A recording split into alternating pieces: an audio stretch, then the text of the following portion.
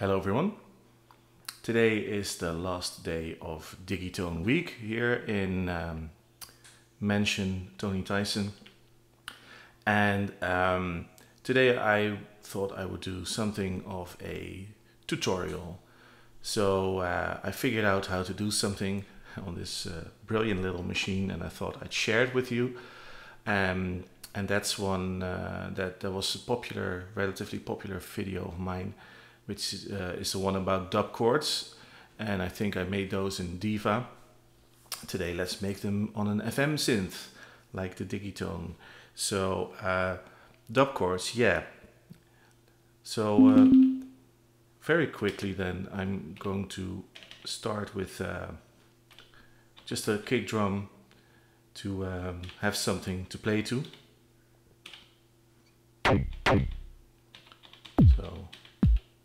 Deeper kick, that's fine. There you go. Tempo is a little bit low, 76. Uh, okay. Let's go 128. Okay, so let's go for track three.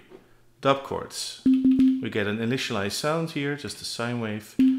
And the first thing I'm going to do is select the right algorithm.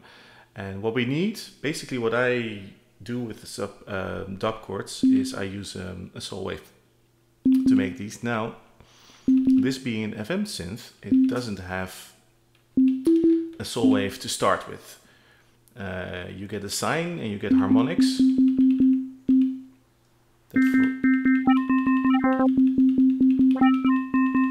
But they're not they're more like wave folding. It's not a it's not a sawtooth. Um, but there is the feedback function, and the feedback feedback function um, adds buzziness, which is pretty much I think it sounds like a saw wave. So what we need then is the feedback, which is the little square on top of the A, B, or C, to um, go directly to an output. So it will be one operator with feedback on itself. And that's going to, oh, wrong, wrong dial there. That's going to provide the, the saw wave sound. So how we do that? Well, algorithm 8, I think is the only one that has that. It has B with feedback going directly to Y.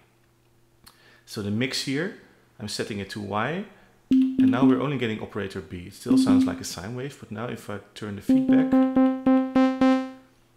this sounds like a sol to me and becomes buzzier and buzzier and at some point it starts to, deteriorate into, into noise.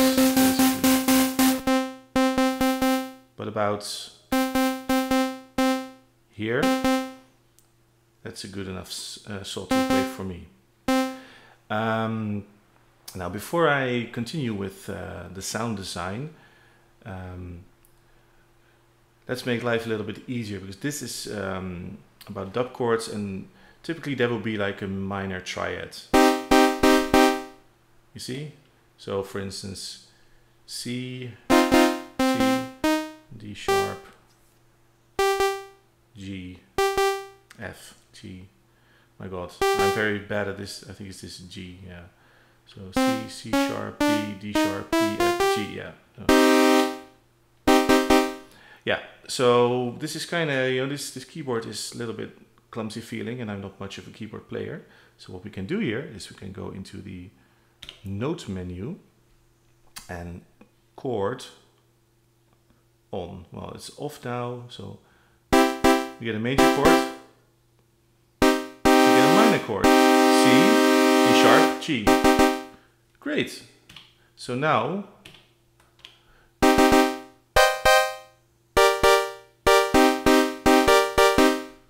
Awesome.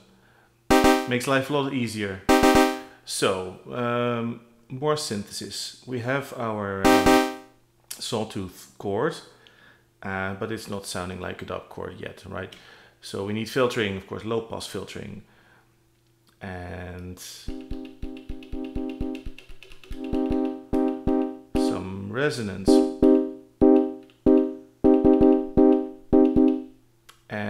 Now the big thing is filter envelope.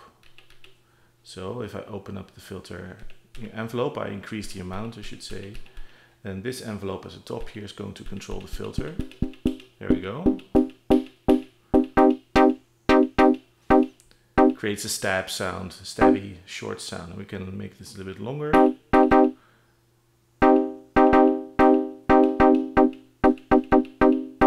Something we can play with. This as well.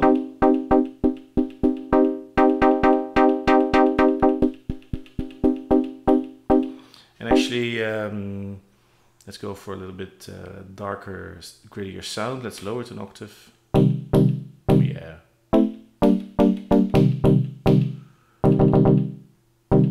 Maybe a little bit more.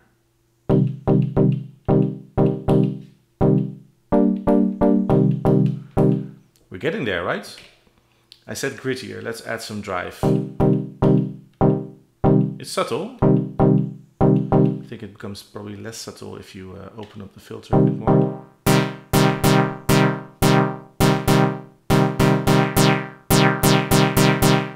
It's also becoming quite loud.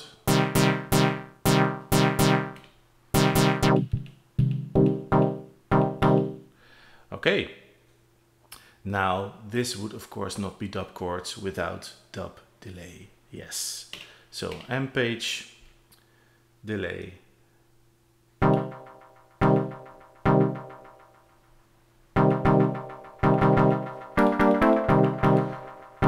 So I set this up earlier. Um, relatively short delay time. You can of course play with that.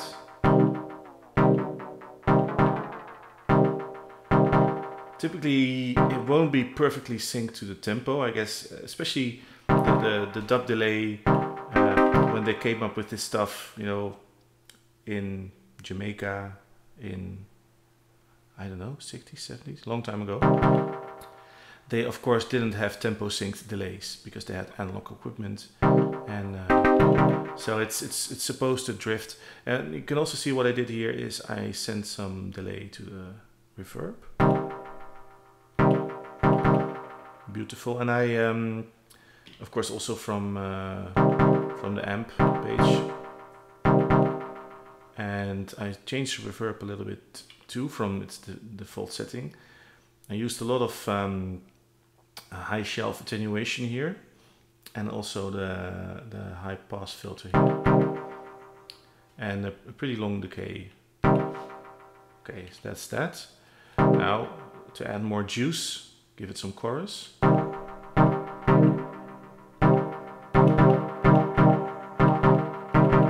Yeah, and back to the filter, one thing we can also do, of course, is set up an LFO to the frequency. I say, of course, well, I mean, um, it is an obvious use of LFO. It's going very fast now. I found that this multiply BPM, so this is second LFO page by the way, right? So it's multiply is set to 8, no fading in or out. Um, this one, start phase, nothing. Just free running, that's the last one mode. Give it a slow, add some extra variation.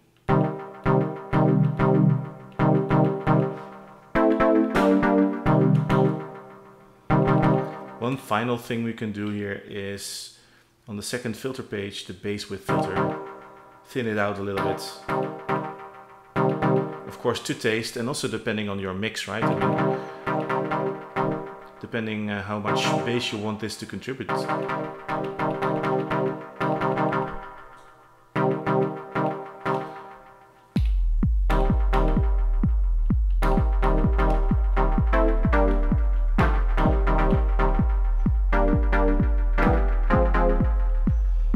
These are um, just playing around with this parallel chords.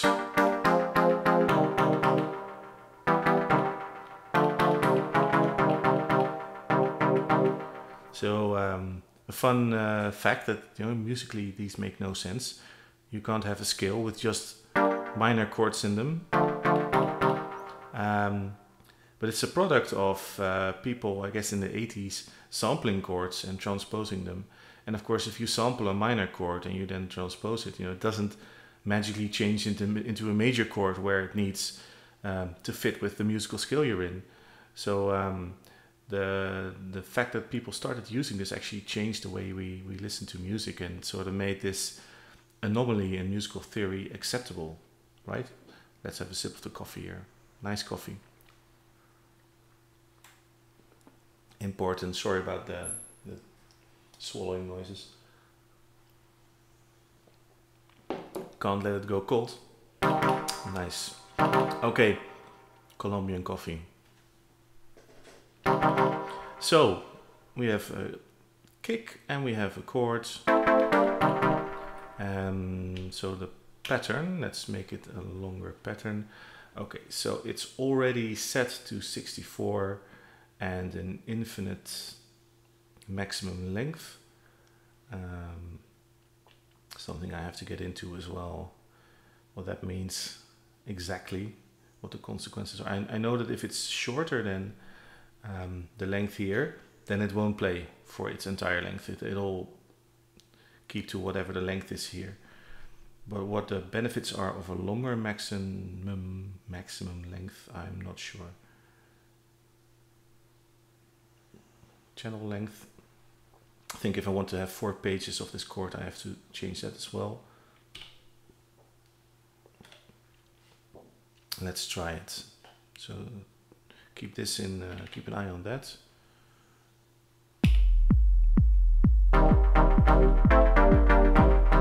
Yeah. Okay, so let's just make something.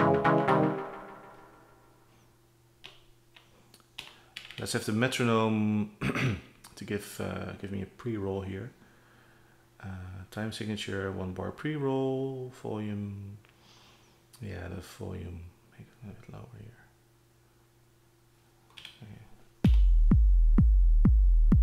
Hmm, now it's so quiet that I can't hear it, I guess.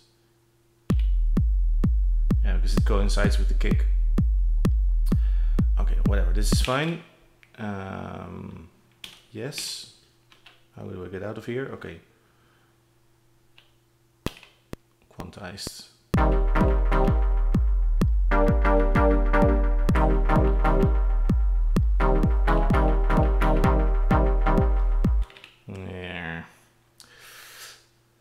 Function clear. Sequence cleared. Oh, I got rid of my rid of my kick drum now. Probably. Uh, brilliant.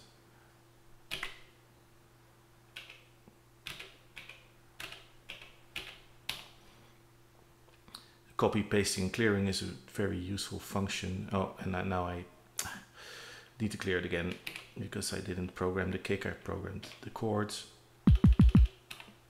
Dear oh dear.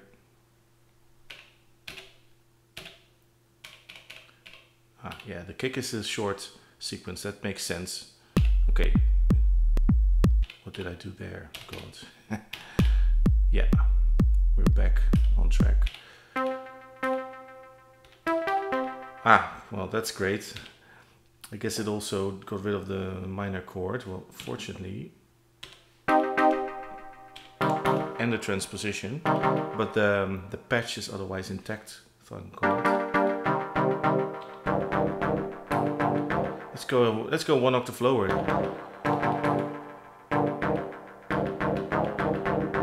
And let's go for this nasty sounding.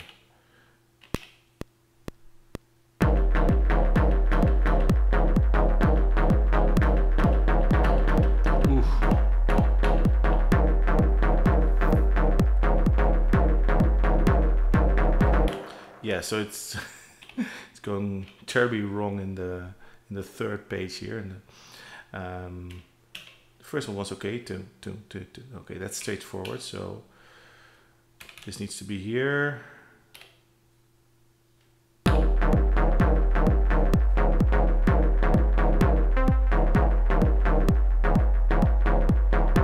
Yeah. Um, copy, paste. Uh, the last bass is also messed up.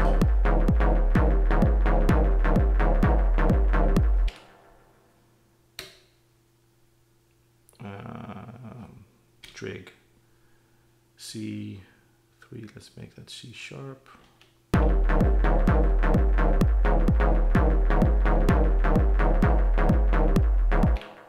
Let's make that regular C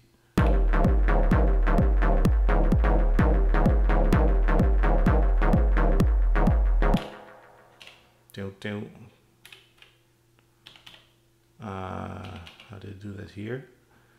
3, 6, 9, 12, 15, okay. 3, 6, 9, 12, 15, okay. Um, assuming that, which one did I, did I change?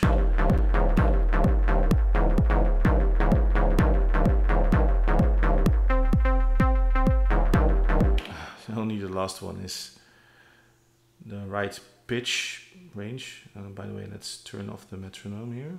Okay. So this one I need to, yeah, that's a C sharp three. Uh, copy that, paste, paste, paste, paste. This one, uh, no, don't change that. Turn it down, this one perhaps, and this one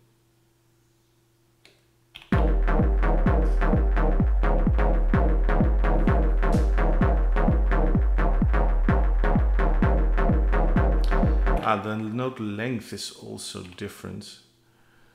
So this is the, the, the disadvantage of not being much of a, a keyboard player. 125 the length, I'm looking at the length here.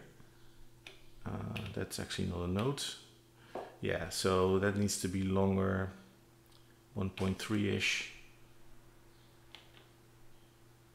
And of course it's cool if they have different lengths. That just makes it more musical, more natural sounding. Okay, so this should basically...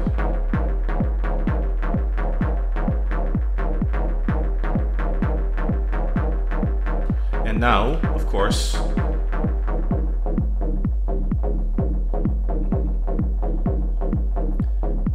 you can play with this actually the uh, delay is maybe a little bit too much.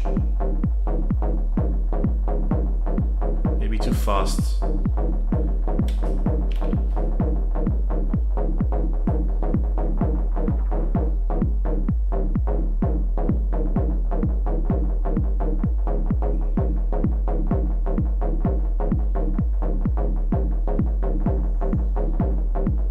You can of course sync it to the tempo if you want to.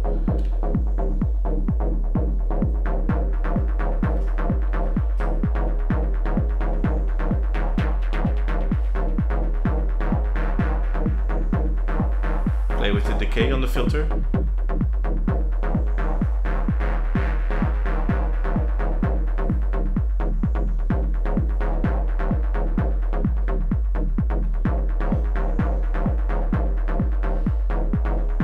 Open the filter like this. Gives different effect. I'm playing with the envelope uh, amount.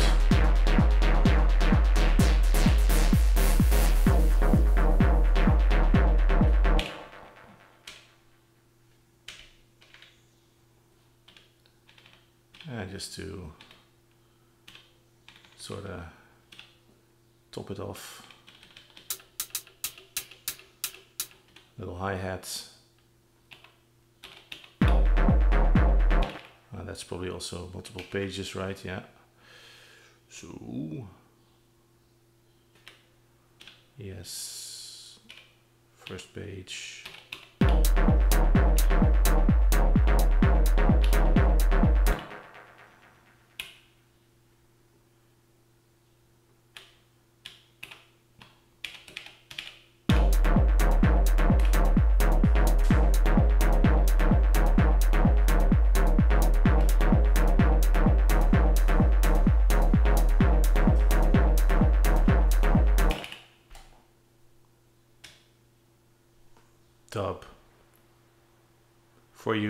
Ladies and gentlemen.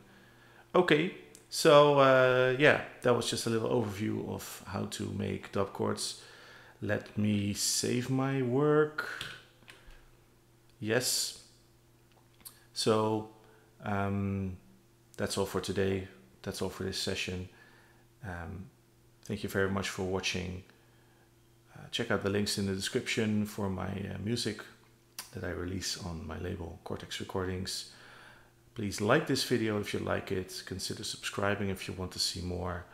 Um, I will see you tomorrow again with a new video. Again, thanks for watching. Bye bye.